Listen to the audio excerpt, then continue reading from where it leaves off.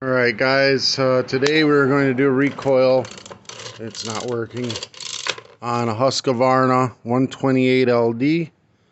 Um, all the parts will be in the description below. This is a very easy job. Um, th this one's got uh, uh, a bad inner spring, a secondary spring on it.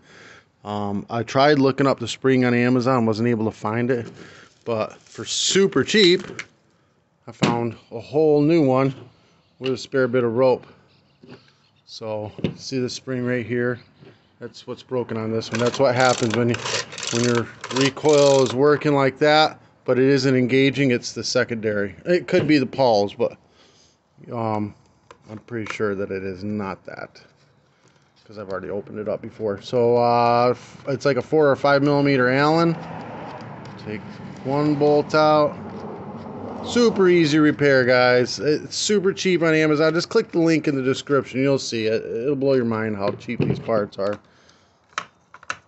Second, and I use them all the time. So, I, I this is I, I I own a lawnmower shop. I do, you know, 10 to 15 pieces of equipment, two-stroke equipment every day, six days a week. Well, not every Saturday. Saturdays maybe I'll come in and do one you know? So see it's just spinning around in there. It's not uh, engaging. That's that spring it's broken. Um, the pawls are working fine. So we're going to and pawls are P-A-W-L that's how you spell them. Put that on. One in in, tighten it down. Again, like, way easier to do it this way. Tighten them both down. And it's engaging now. It's engaging. Here, let me start her up. See if she runs. Alright, so this doesn't run. You can see the customer had a uh, custom choke holder thing because it was stopping to run properly.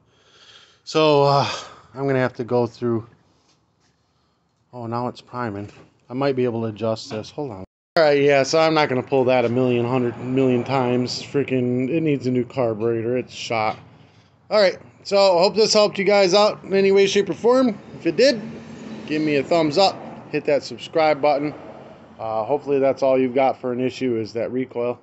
Um, I'll be doing a video on the carburetor repair uh, as soon as I get a carburetor in for it. Do carburetor and fuel lines. So that'll be in the next few days. I just gotta order the carb. All right, guys. Thumbs up. Subscribe. If you want uh, today's T-shirt will also be in the description below as well as the parts. If you want to do any advertising through me, message me. I'm more than happy to have you.